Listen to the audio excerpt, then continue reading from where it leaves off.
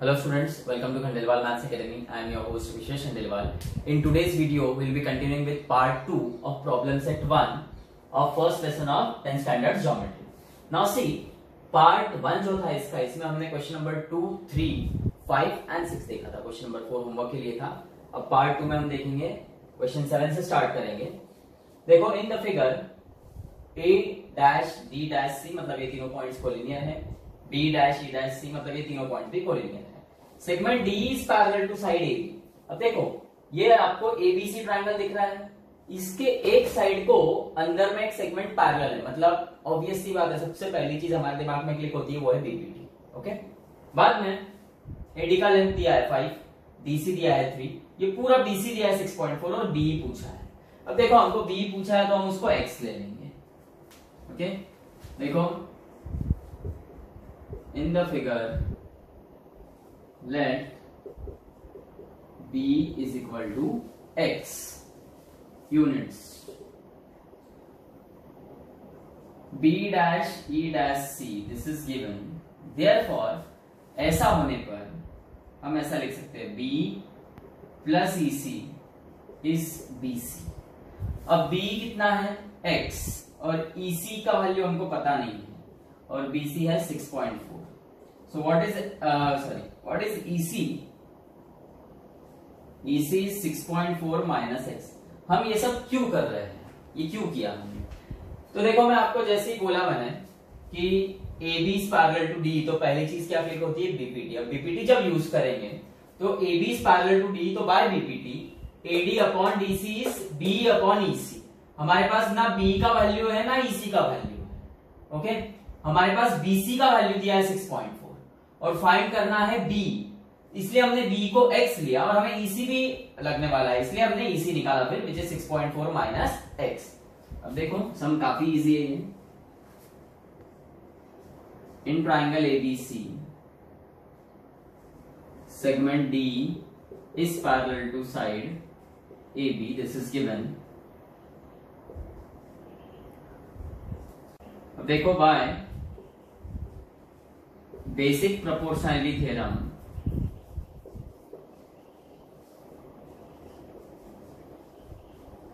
ये पूरा लिखना है। B dot P dot T मत लिख के आना वहाँ पे। By basic proportionality theorem AD upon DC is equal to PE upon EC जो वैल्यूज़ पता है वो पुटअप करो. AD is five DC is three B is X and EC हमने निकाला value six point four minus X so this is five into six point four minus X three इधर multiply हो जाएगा. This is simple multiplication इसको cross multiplication नहीं बोलते हैं. Five into six point four is thirty two minus this is five X is equal to three X अब देखो minus five X है, लेफ़्ट हैंड साइड में, राइट हैंड साइड में जाएगा तो प्लस फाइव एक्स होगा। और अब पूरे आर एच एस को एल एच एस बना दो, पूरे एल एच एस को आर एच एस तो किसी भी साइन चेंज नहीं होगी। ये हो जाएगा eight X is thirty two. So X is thirty two upon eight. Eight multiplication में एक्स के साथ thirty two right hand side में जाएगा तो डिवाइड हो जाएगा, okay? So X is four इसका मतलब B is four units eight question देखो. In the figure segment P A Q B R C and S D they all are perpendicular to the same line A D बाद में ए B का length दिया है 60 units okay इसको A B sixty B C है 70 C D है 80 और पूरा पी एस दिया है. 280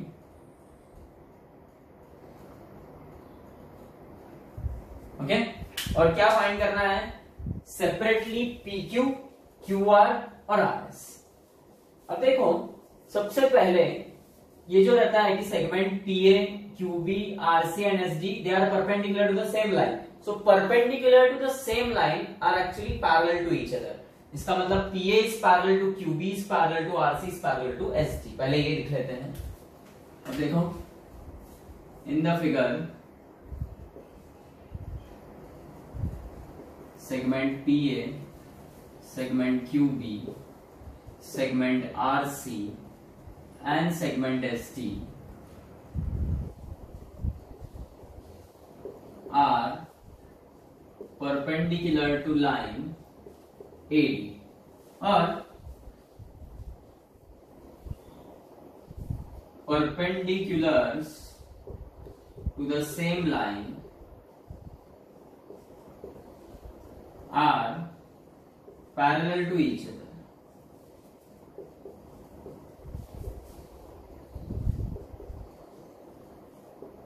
Therefore,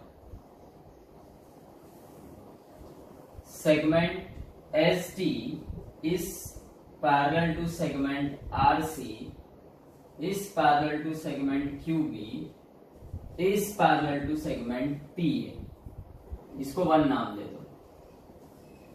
ओके अब देखो, यहाँ पर ये चार सेगमेंट एक दूसरे को पैरेलल है।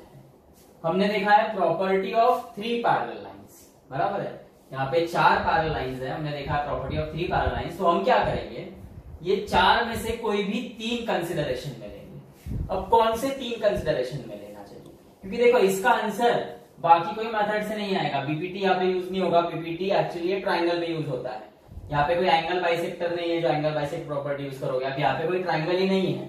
ओके जो आप ट्राइंगल सिमिलर बता के कुछ कर सकते हो। तो ऑब्वियसली यहाँ पे property of intercept made by three parallel lines use होगा। जबकि यहाँ पे चार पैरल लाइंस है, हम उसमें से तीन ही कंसिडर करेंगे। अब ध्यान दो ये साइड में सारे इंटरसेप्ट के लेंथ आपको पता है। ए बी का है 60, सी है 70 और सी डी है 80। अब हम क्या करेंगे? तीन पैरल लाइंस लेना है। सपोज़ आर सी नहीं है यहाँ पे। सो so, हमारे लिए ये देखो डायरेक्ट सपोज़ आर सी नहीं है यहाँ पे। तो अब हमारे लिए क्या हुआ? SD is parallel to QB is parallel to PA इसका फ़ायदा क्या? अब सबसे पहली बात, एक और बात आपको बता दूँ मैं। इधर ध्यान दो अच्छे से। आप ये नहीं कर सकते हो कि S D parallel to R C parallel to Q B लोगे। ओके ये बिल्कुल नहीं करना, क्योंकि इससे आंसर आएगा ही नहीं। क्यों नहीं आएगा? अब देखो S D parallel to R C parallel to Q B लिया तो S R upon R Q is DC upon C B आएगा। डीसी का वैल्यू पता है सीबी का पता है। अब ना एस आर का पता है, ना आर क्यू का पता है। इनके सब कॉम्पोनेंटो करते हैं, जो कि करना पड़ेगा इसमें। ओके सो कंपोनेंटो करते हो तो S R plus R Q होगा। अब S R plus R Q होगा एस क्यू हमको एस क्यू का भी वैल्यू नहीं पता है। बराबर है? सो हम पीए डिलीट नहीं कर सकते हैं यहाँ से कि भाई S R parallel to R C parallel to Q भी लेंगे। वैसे ही हम एस डी डिलीट नहीं कर सकते। क्या आप बोलोगे कि फिर sir R C parallel to Q B parallel to PA ले? तो उसमें अगर हमने R C parallel to Q B parallel to PA लिया सपोज़ तो R Q upon Q P C B upon PA आएगा। अगेन बाय कंपोनेंटो करना ही पड़ेगा। R Q plus Q P RP आएगा।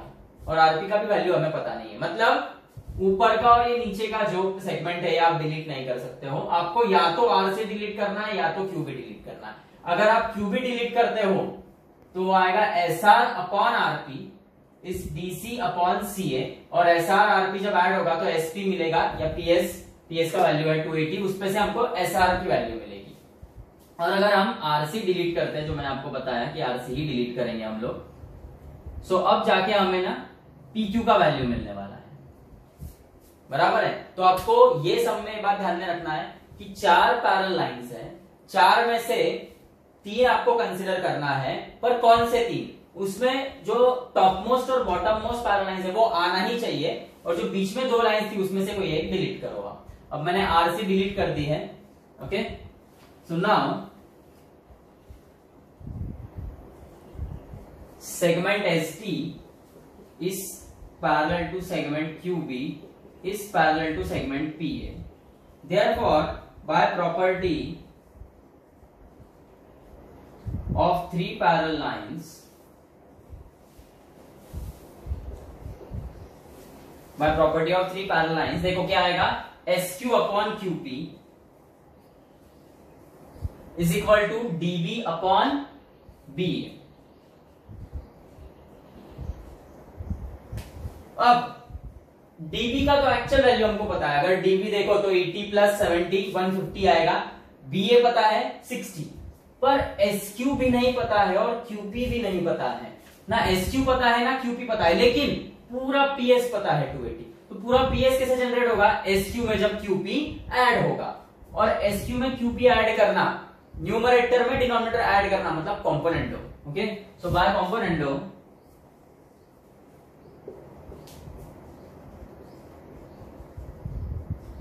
कॉम्पोनेंटो में क्या होता है? डिनोमिनेटर न्यूमरेटर में ऐड हो जाता है। और डिनोमिनेटर में वो जैसा कि वैसा रहता है, वहाँ से नहीं निकलता है। Is equal to this D B plus B A upon B A अब देखो एस क्यू प्लस क्यूपी क्या होगा? Sorry S Q plus QP is this P S ये नीचे P Q DB plus B A पूरा AD हो जाएगा वो अपॉन बी ए अब देखो पीएस का वैल्यू आपको पता है टू 280 और पूरा एडी का वैल्यू क्या आएगा? एटी प्लस सेवेंटी कितना होता है? 150 150 plus 60 210 upon B A B A का वैल्यू 60 है. ओके ये zero zero cancel 280 eighty into ये सिक्स करो. इस 21 वन इंटू पी या फिर यहाँ पे और कैंसलेशन कर दो थ्री टू जा सिक्स थ्री सेवन जा twenty one so this is two eighty upon P Q is seven upon two so two eighty into two two ये साइड मल्टीप्लाई होगा पी क्यू सेवन से multiply होगा. और बाद में seven right hand side में multiplication में left hand side में आएगा तो डिवाइड हो जाएगा. सेवन वन जा सेवन फोर जा ट्वेंटी एट और ये forty so P Q is forty into two so P Q का वैल्यू आपको मिल गया एटी यूनिट्स ओके अब देखो पी क्यू मिल गया आपको एटी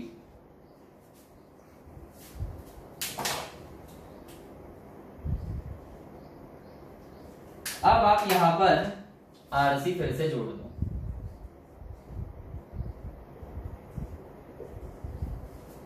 अब बहुत सिंपल है. आपको पी क्यू मिल गया एटी अब हम क्या करेंगे? भाई एस डी कंसिडरेशन में नहीं है फॉर एग्ज़ाम्पल फिर हम लेंगे RC parallel to Q B parallel to P A again by property of three parallel lines R Q upon Q P will be this C B upon B A और अब यहाँ पर चार जो sides है आपके, चार इंटरसेप्ट है एक्चुअली उसमें से तीन इंटरसेप्ट की वैल्यू पता है और फोर्थ का वैल्यू आसानी से निकाल सकते हो आप लोग। देखो वो कैसे करेंगे हम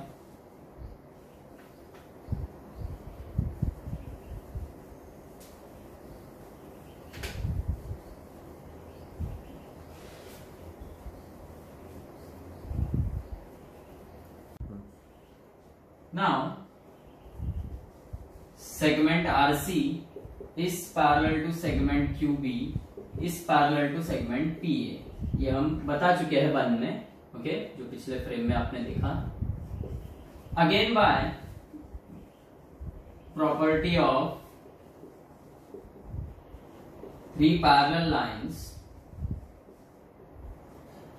ये आएगा R Q upon Q P is C B upon B A जो वैल्यूज़ पता है वो पुटअप करो।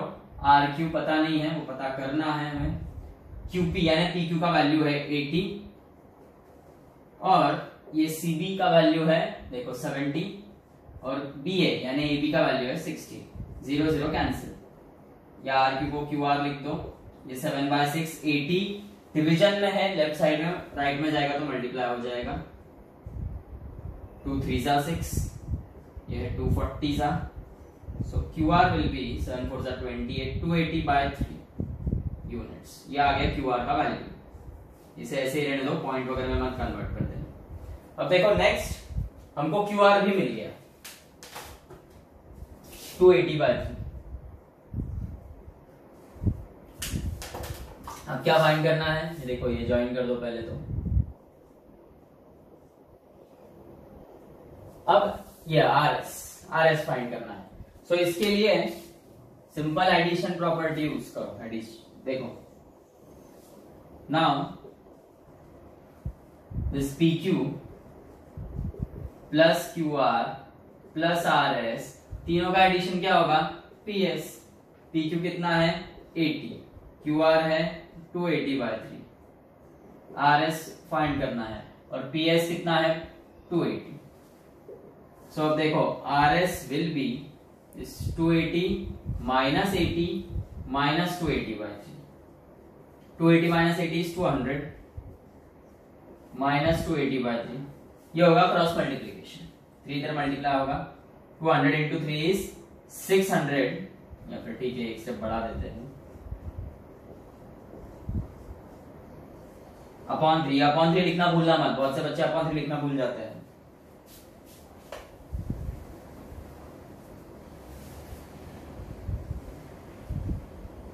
Therefore, RS is 600 minus 280 by 3. Okay. अब 600 minus 280 is 320. This is by 3.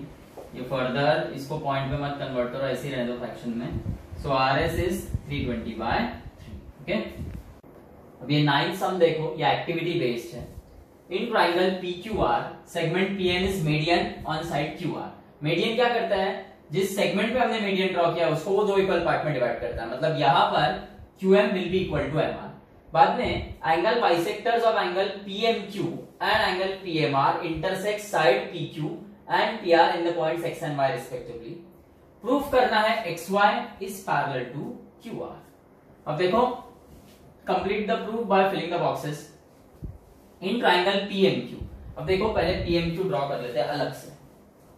ताकि समझने में और आसानी होगी आपको।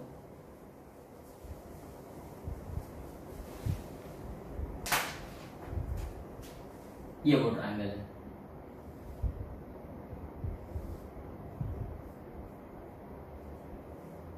This is P M Q triangle और एम पॉइंट से एंगल बाइसेक्टर निकला है ऐसा।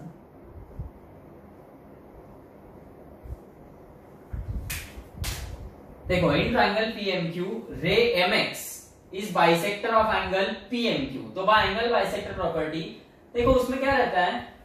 ये जो रे है M X okay which is bisecting this angle ये क्या करता है? एंगल का जो अपोजिट साइड है, उसको दो पार्ट में डिवाइड करता है। और उसका ratio is equal to triangle का रिमेनिंग साइड्स का रेशियो मतलब यहाँ पर एमपी अपॉन एमक्यू देखो MP this MP upon MQ अब यहाँ पर आपने एमपी लिया है सो ये साइड में पीएक्स से स्टार्ट करोगे आप। PX upon X Q okay then in triangle PMR अब देखो, ये एक ट्राइंगल पीएमआर भी ड्रॉ कर लेते हैं अलग से।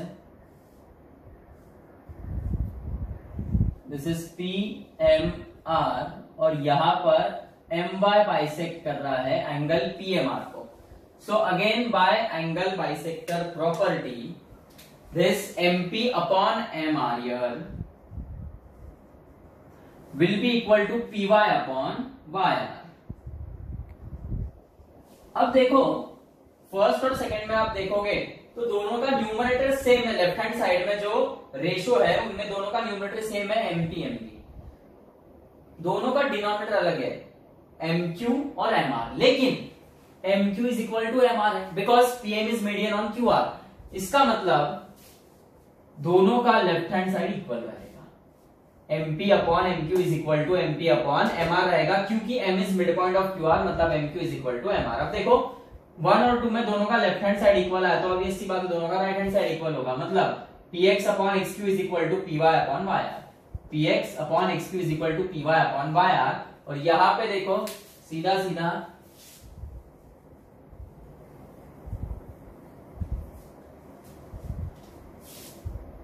अब देखो इसको। इस ट्राइंगल में P X upon X P P Y upon Y R मतलब ट्राइंगल के जो दो साइड है they are divided into same proportion मतलब by converse of basic proportionality theorem Y will be parallel to Q okay